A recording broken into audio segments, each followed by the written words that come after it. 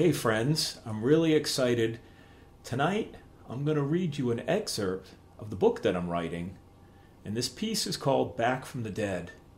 A little background on this often I'm getting asked about what was it that caused me to change my life and go on a journey where I lost over half my body weight. And for those of you who know my story, I mentioned that it was the death of my father that caused me to rethink things and and really dedicate my life to, to health. Well, here it is, the background story behind it, back from the dead. Michael, you want to take a ride to the convenience store? My dad asked. Sure. Let's go for a ride, he called to his car companions, the pugs, Molly and Rascal. They both barked excitedly and raced to the front door. Dad grabbed his keys from the hanger by the door and we headed out to his car. He opened the driver's side door of his dark blue Crown Vic and let the pugs in. I got into the passenger side and ushered the pugs to the back seat. Dad got in, started the car, rolled down the windows. He lit a cigarette, and we backed out the driveway. We took a right onto Route 32. He gunned the gas as we headed down the road. He was driving a little fast, but I still felt safe despite his weakened condition. I didn't care, as I was used to the way he drove. Hey, grab that CD down there, my dad said, motioning to the center console. I reached down and picked up a homemade CD with Ozzy written across the front. Where'd you get this? I asked. Ah, Brian made it for me. Pop it in the player, would you? I turned on the car stereo and inserted the CD into the slot. Dad took another puff of his cigarette. The music started. Flying High Again started playing, and I thought to myself, how cool my dad was after all these years for a guy his age. He lived life the way he wanted eating, drinking, and smoking, making his own rules. A life that soon would have a cost. As we rounded the corner at the bottom of the hill, he gunned the gas again, pinning me to the door slightly. Then my dad says, Yeah, this thing's got the same engine as your Mustang, you know? Yeah, I remember you telling me that. He gunned the gas again as we run continued on to the store. In some ways, I envied my, some of my father's carefree spirit, despite some of the stress it would cause on our families at times. For the most part, my dad was a law abiding, decent guy. He was also reckless at times in terms of how he took care of himself, smoking cigarettes, drinking alcohol excessively, and generally eating unhealthy foods. His poor health habits were taking its toll on him as we recently learned he had lung cancer from all the years of smoking. Now, he'd already dealt with colon cancer, having had a section of his colon removed and recovered from that. Now his condition was terminal. He was told he had six months to a year and a half to live, depending on how the treatment takes to slow it down. He tried the treatment for a while, but he didn't like the side effects, so he stopped getting treatment altogether. He decided to leave it in God's hands. Over the next few months, my dad's health began to decline rapidly. He quickly became unable to care for himself and needed professional care. He eventually ended up in a nursing care facility to help him rehabilitate. The facility, located at 59 Harrington Court in Colchester, Connecticut, stood on the same location of the Harrington Convalescent Home that my grandfather once owned. There was something comforting in that for my dad. When I would visit him there, we would often talk about he would often talk to me about needing to get better so he could get back home and help my mom around the house. He was in denial about his terminal condition. Maybe he just didn't want to face the reality. I know I didn't want to face it either, hoping that in some way his health would turn around. My 40th birthday came, and I was in no mood to celebrate as my dad's health was declining. The next month was my wife's birthday. We decided to have a party at my parents' house. My brother went to the nursing facility to pick up my dad and bring him back. When they got back, he helped Dad up the cement steps outside and up the flight of steps just inside the doorway of their raised Ranch house. Dad was visibly weak and he looked pale. Pat, you don't look well. Are you okay? My mom asked. I'm fine, he answered weakly. His voice was barely audible. Brian, did they say anything about him? He looks worse than he did yesterday. He was fine when he got into the car. My mom sighed and checked Dad's forehead. He needs to rest and sit down. She led him over to the couch, and then we started to prepare for Terry's birthday. Eventually, Dad regained some strength and he headed down the hallway to his bedroom. My mom asked, where he, asked me where he was. I told her I saw him head down the hall. Mom headed down to the bedroom. She found him sitting on the bed looking at his die cast car model collection. Pat, are you okay? He didn't answer. Pat, what are you doing? Are you coming out to Teresa's party? Yes, he replied in a weak voice. He laid back for a moment and closed his eyes. My mom looked around the bed. My dad had taken and laid some of his the cars out from his model car collection all around the bed. Michael, can you come down and help your father? He needs help getting up from the bed, my mom called down to me. I headed down the hall into the bedroom. I saw my dad laying on his side. I reached out for his hand. Are you able to sweep your feet around? I asked. Yeah, he answered. Michael, I have to check on the food, my mom said. Do you need Brian to help? No, I can manage. Gently, I guided my dad around so he was sitting upright on the bed and his legs were hanging down to the floor. He sat there for a moment. Okay, are you ready? I asked him. Yes, he replied. I reached out and grasped my dad's right hand. He got up to his feet. He was a little shaky. Dad, I'll help you down the hall. So I put his hand on my shoulder as we walked down the hallway to the living room. I walked with him back to the sofa and helped him sit down. We had the food and celebrated Terry's birthday. Dad didn't eat much, but he seemed to be interacting, enjoying the time with us. Soon it was time for him to head back to the nursing care facility to get his medications. Brian held his hand out to help Dad up from the couch. Dad got up slowly and stood there, his body shaking. He appeared to be too weak to stand. Mom, there's no way he's going to be able to get down the stairs, Brian said. We have to get him back soon. We don't have his medications here, my mom replied.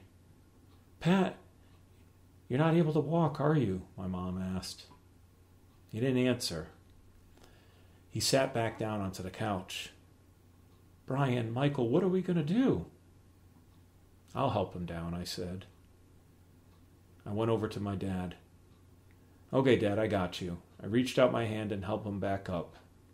I had him put his arm on my shoulder so we could walk to the stop, top of the staircase. In the meantime, my family made their way outside. My mom stayed in with me and Dad. Michael, he's not going to be able to get down those stairs. He's too weak, my mom said. I stood there a moment holding on to my dad and considering my options. I'll carry him then, I replied. Dad, I'm going to lift you up. Dad didn't respond. I got on his side and picked him up. I was a little surprised how light he felt. My dad had always been a thick, strong man. He stood about five foot ten, I steadied myself at the top of the stairs. Oh, Michael, be careful. You're going to strain your back, or both of you are going to get hurt, my mom said. Mom, I can do this, I responded. I started taking the first down, step down. Dad turned his head towards my ear and whispered, barely audible, Michael, no. Dad, we have no choice, I said. He didn't say anything. Slowly, I made my way down the stairs, holding onto the man who once held me in his arms. I tried not to think about it, as I needed to focus taking each stair slowly. My dad was one of the toughest, strongest men I ever knew. His feats of strength were legendary. I remember him lifting up the side of his Opel GT, having my brother and me slip wooden blocks underneath so he could work on it. His legs were like tree trunks, his arms were thick and powerful. He was also one of the coolest dudes I knew. Many of my friends and my brother's friends enjoyed spending time with him. He was Superman and the Fonz all in one. But to see him reduced to this shell of a man now, who I now held in my arms was heartbreaking. It was hard for him to retain his dignity now that he was so weak and barely could walk, and wearing a diaper. As I made my way down the stairs, I could see my family waiting outside for us, watching. My mom opened the front door, and I carefully stepped outside. I could see Terry out in the driveway looking, looking, wiping away the tears from her eyes. I made it down the cement stairway to the car as Brian helped me get Dad into the front seat and buckle him in. I saw my niece off in the distance, watching with anguish on her red face as Terry hugged her for comfort. This was one of the most humbling experiences in my life. Over the next few months, I continued visiting my dad at the nursing care facility, making that drive down Harrington Court in my Mustang with the loud exhaust my dad loved to hear. His room was near the parking lot, and some days I would rev up the engine just so he could hear it. He would often ask me if I came in the Mustang, as it made him happy that I liked muscle cars like he did. In many ways, I was just like my dad. Like him, I didn't have a good system for managing my stress. He smoked cigarettes his entire adult life and now was dealing with the results of that. He drank alcohol and ate poorly. I didn't smoke, but I did drink occasionally, and sometimes when I was stressed, I would drink too much. My primary comfort, however, was food. Through the years, I struggled with my weight, which was eventually affecting my health. I started to develop sleep apnea, high blood pressure, gastric reflux, and I was pre diabetic. To make matters worse, I had lost my will to live. I felt helpless in my condition and saw no hope for ever being able to change. Many nights I went to bed just wishing I would have a heart attack in my sleep. On one occasion, I took a handful of sleeping pills with a bottle of vodka, went to bed just to see what would happen. I woke up the next day feeling worse about my life. My dad's condition continued to worsen.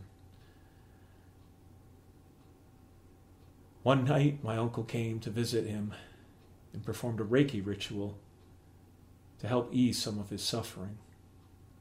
The next day, I took my day off from work to visit my dad. I headed to the nursing home and parked my car in the lot. I stepped out and saw my dad's best friend Dave getting out of his vehicle, so I approached him. Hey, how's it going? I asked. Doing okay, Mike. Just here to check on Pops, he replied. We walked into the facility together. As we approached my dad's room, I saw my great aunt Eileen stepping out of his room. Her face lit up when she saw me. Michael, how are you holding up? she asked. I'm okay. About as good as can be expected, I replied. Oh, this is Dave. This is Dad's good friend. They shook hands and chatted briefly, and then Dave stepped inside my dad's room. I stayed out with my aunt. He's not looking too well, is he? I asked my aunt. She had been a nursing home administrator most of her career. No, it's in God's hands now. It's very sad to see him like this, she replied. She hugged me and gave me a kiss on the cheek. I love you, Michael. We'll get through this, she said. I said goodbye to my aunt and stepped into my dad's room. I saw my brother Brian on one side of dad's bed closest to the door. Dave was on the other side. Dad was awake, and the guys were talking to him. On my immediate left was a cart that hadn't been there in the room before. It had some pastries, coffee, and some water on it. It also had a box of tissues. Hey, Brian, how's it going? I said to my brother. I'm okay, he uh, replied. What's this? I asked, motioning to the cart. I don't know. It was here when I got here this morning, he replied. I could see that my dad was lucid, but he wasn't really able to speak. He seemed to understand what Brian and Dave were saying.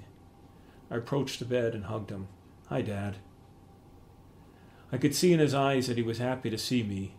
He looked a little disoriented and he was, his color was pale. We all chatted a while. I stepped out to call my mom to see when she was coming. She said she was on her way. When I got back, I could see that my brother was upset.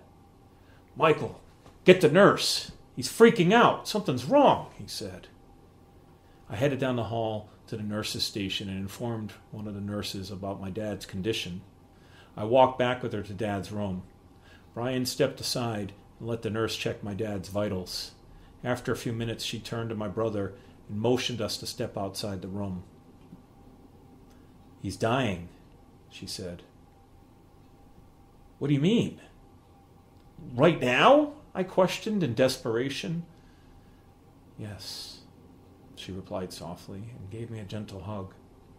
She told me and my brother that they were going to give us time with him, but to come and get the nurses if we need them. Brian and I headed back into the room. Dave was holding Dad's left hand. Brian went back to the other side on Dad's right, and I stood next to him. My brain was in a fog. Brian touched Dad's forehead. His eyes were still open, but he looked a little scared.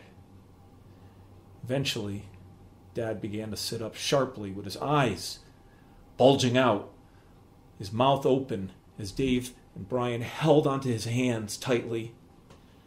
And then his eyes lost his glimmer as he laid back into the bed.